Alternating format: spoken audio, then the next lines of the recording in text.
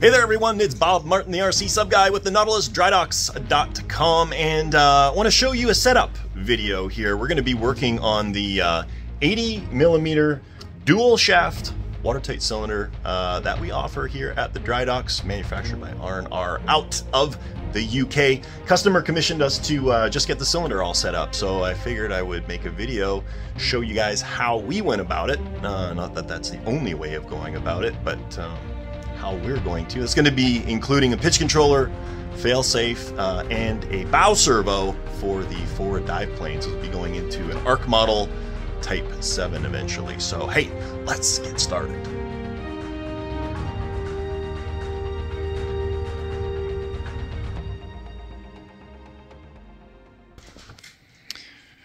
So before we dive into this, let's uh, have an overview. This is the cylinder as you would get it. Uh, ignore all of this because this is like extra. Um, it's got these uh, mini servos that handle your rear dive planes and rudders. Got an on-off switch here uh, that turns the whole thing on and off.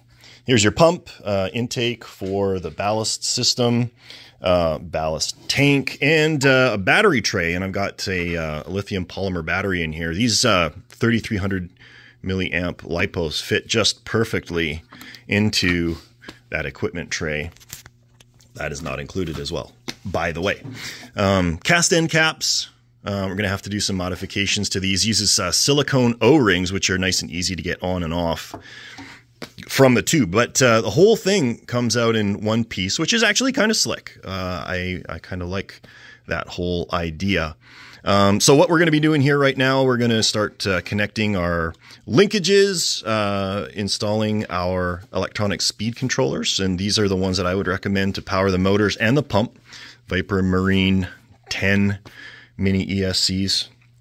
And then uh, battery link and the pitch controller, and uh, this will be our forward servo. So let's get started. All right, progress thus far. Uh, I've installed the uh, two pitch controllers right here, adhered them to the deck. I'm going to label these pump and motors for uh, future reference. The linkages uh, have been completed. I want you to note the, uh, the bend that I put on those linkage rods. You want to make sure that this exits as linear a fashion, uh, you know, parallel to the center line of the cylinder uh, as possible. Now, the, uh, the thing about this, and I'll show this to you as I move that servo, um, this swings you know, quite a bit. So this uh, particular setup is actually pretty good. He's got a lot of, of slop uh, on the inside and these bellows seals um, work really well. But if you're using a more, uh, you know, high-tech, high-performance seal, that alignment is really important and that swing becomes problematic, which is why we use linear servos on our 300 series subdrivers. But this works uh, quite well. There's no binding or anything uh, like that. Um, not knowing what the customer setup is or how much, you know, throw he needs, I, I elected to go on the outside there to give him the maximum amount. Now, the next thing I need to do is run some servo extension cables. Now, we have servo extensions that are re required for each of the two servos and each of the two speed controllers, and we need to get power up here. So that's basically four servo cables uh, a positive and a negative wire. Now, uh, there is a nice big acrylic tube down the center, the conduit that's going to go to the battery compartment at the back, and that's also where the receiver, I believe, is supposed to be mounted. And that will isolate it from the uh, any interference from the motors in the forward part of the uh, compartment there. Um, the challenge is going to be getting these cables through. Now we need to with these extensions, uh, get it through. And, and unfortunately, because of the way the deck is, I can't get it in here. So it's got to go through here, and that access is a little bit limited. Um, so that's going to be a bit of a challenge. I'm going to try and stuff that all through, and then we'll have all of our servo extensions, and then I'll have to try and force a cable through. So let's see what we can do.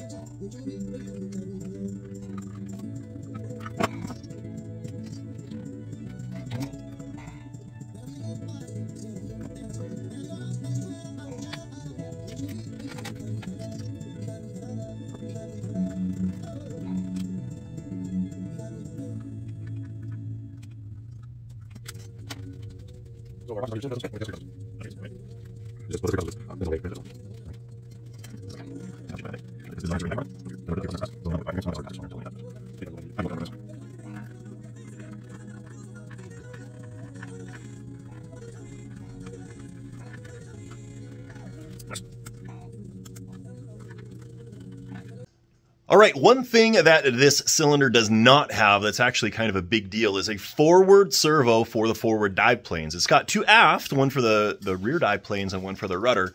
Um, but that means actually you need you would need to forego forward dive planes or run additional linkages from the back all the way to the front to connect dive planes. So not ideal. So what I've gone ahead and done is I've installed a servo in the forward uh, battery compartment bulkhead, and uh, that's going to make things a lot easier for connection for those forward dive planes. So let's take a look at that. So this is the uh, solution I came up with. Um, this is just a standard uh, micro servo. What I did is I marked where the forward battery tray lip meets up with that bulkhead so that it's not going to interfere with it and um, mounted it in there. Um, if this were ever to fail, you could just literally break it off and, and mount a new one in there. It'd be really easy to do. Uh, and then what I did, you can see on the inside there, there's a piece of quarter inch brass tube. Goes all the way through the bulkhead and uh, put a bellows seal on the front. Um, I milled out this uh, bulkhead, this resin bulkhead with my milling machine. You could do the same thing with a Dremel, you know, like a rotary tool. Um, but I'm just taking advantage of the tools that I have at the shop here. Um, but this works really good. Um, let's see if I can if I can do this. Um, so if you uh, take a, a look at that linkage, it's got full throw and there's enough slop in that quarter inch tube that uh, it takes into account that variation uh, in horizontal displacement as this servo horn goes through its arc. So that means it's like a little wiggly on the outside, but that's not going to matter once you connect it to your bow plane linkages because all of the force is going to be linear uh, and not uh, horizontal or transverse there. So that is my solution for the forward um, servo in the uh, watertight cylinder. Uh, again, you know, the, the 300 series subdrivers that we offer come complete with two forward servos already installed and tested. Uh, this is just a little bit of a workaround if you wanted to go the cheaper route uh, with the R&R cylinder. All right, I want to show you um, how these seals work in the back. So if you take a look here, this is the, the drive shaft, and this is the, uh, the seal. I've got the, uh, the other side off, which is actually the starboard side, but even though it's upside down. But if you look inside there, you can see that's a silicone O-ring and uh, slips over the shaft. And then as you tighten this down, it compresses that O-ring seal and creates your uh, your seal. So that's adjustable. Now, uh, the thing that we have discovered, however, is that uh, as that motor spins, particularly obviously if it's in the counterclockwise direction, um, it can want to spin this off, which is, as you can imagine, not the best of situations. And so I think what we're going to do, we're just going to put a drop of, of CA on here to lock it down once we get the correct um, tension on that seal. So just something to watch when you're assembling your cylinder. Um, also going to talk about the wiring here. So we checked both of these motors are mounted in the same orientation, so the positive terminals are both on the side that's closest to me, so uh, here and here. When you wire these together, you want them to spin counter to each other. So you'll go positive to the negative and negative to the positive and then shoot out to your electronic speed controller. If you wire them the same, if you connect both positive terminals, then both shafts will spin the same direction and uh, you would have to put two of the same propellers on your boat rather than opposed and it would be weird. So just watch that when you do up your wiring. All right, we're done. Um, all in all, it wasn't too bad with the two of us kind of picking at it. It took, I think we guessed about two hours to set everything up. Uh, so if you're looking at three hours by yourself, that's probably pretty realistic. And obviously we got other stuff we're doing kind of in the meantime. I want to show you the setup uh, front to back. So uh, if you want, you can emulate it. But like I said, there's absolutely more than one way to skin a cat. This is not the be all and end all. But if you want to use it as an example, let's do it. All right, let's start at the front here. We'll take a closer look. So uh, tucked in here, we've got our battery. This is a 3300 milliamp lithium polymer battery. Goes in there. We notched this a little bit just so that this cable will lay a little bit more flat. So I'm going to go ahead connect that here. Um, now, if you take a look, this wire protrudes from the front about uh, maybe a quarter of an inch. Um, and that means that the end cap doesn't sit flush. And so I uh, milled this out uh, so that it will fit. Now, obviously, you could get away with a smaller battery and you wouldn't have to do all this extra work. This is a nice size battery, though. Um, and if you see now, when I put this on, it sits perfectly flush so there's no gap uh, in there.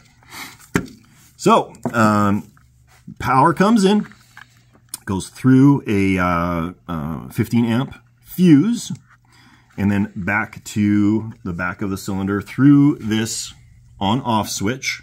It's currently off right now, and to turn it on, you just click it, and away you go. I've got no receiver in here right now, so um, obviously you can't see um, you know, all these other things going, but we're going to go one by one. This is the um, rear dive plane linkage. Showed that to you earlier, going forward and backward. But we installed a, a pitch controller. So as we move this cylinder back and forth, you can see it shifting in there. Um, if we switch our channels to this one,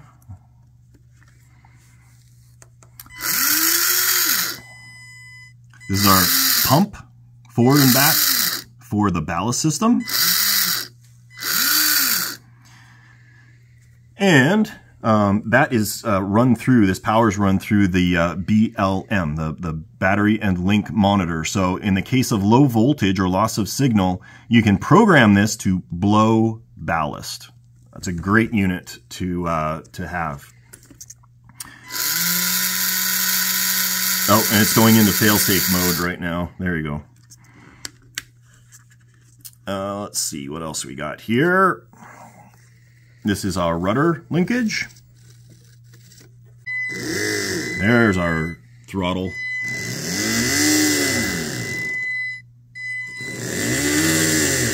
And you'll note that those shafts are spinning opposed to one another, counterclockwise uh, and clockwise, respectively. So let's move uh, into the front here. I'm going to turn this off and just show you how we put everything in here. Two speed controllers uh, labeled motor and pump. We've got the uh, BLM. Now, the BLM needs power, as do the two speed controllers. So these are all spliced together, getting power from the main switch. So the power comes through the conduit into the switch, out of the switch and into here. And of course, at the very, very front of that circuit, as we showed you earlier, was the fuse uh, in case there is issue.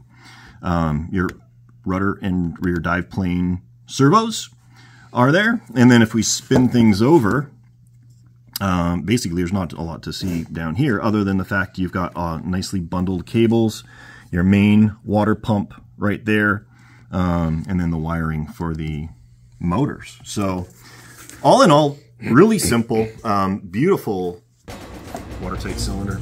Um, this one is set up for the Arkmodel Type 7, but it'll work in obviously any boat that uh, has dual shafts and uh, needs the approximate displacement that this cylinder offers. So, hope this is helpful for anybody who is uh, either building your own cylinder or setting up the R&R watertight cylinder. Um, if you have any questions, I would love to hear from you. Bob at nautilusdrydocks.com. Hit me up anytime. I'm going to leave it at that. Uh, thanks for joining me. It's Bob Martin, the RC sub guy with the nautilusdrydocks.com. Catch you next time.